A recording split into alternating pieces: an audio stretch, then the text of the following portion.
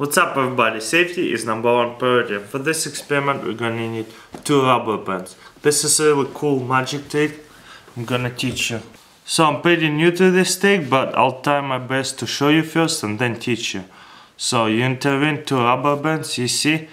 They pretty much like attached to each other, you know? Guess what? And they're not attached anymore. Let me try it again, see if I can get any better.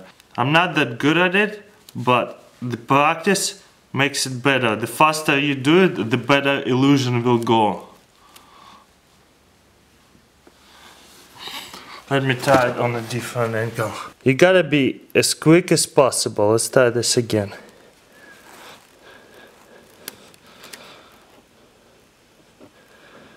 You see? Boom tangled up together. So this is how you do the stick. The faster you do it, the better. I'm not good at it, as like you can get. So the faster you do it, the better, right? So I'm gonna show you slow, so you can see what happens. You see, you show that they all tangled up together. So you grab one piece right here with the other finger, you see? And then stick your finger right here and go back up here. And go like that. You show that they are together but then boom you know? Let me show you from the different angle. So you come up and say look I got two rubber bands.